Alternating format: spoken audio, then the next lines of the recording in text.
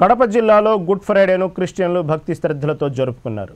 కడప పట్టణంలోని buildup circle నుంచి Mariyapuram church వరకు సిలువను మోసుకుని ర్యాలీ నిర్వహించారు. చర్చి ఫాదర్ సాగిలి ప్రకాష్ ప్రత్యేక ప్రార్థనలు చేశారు.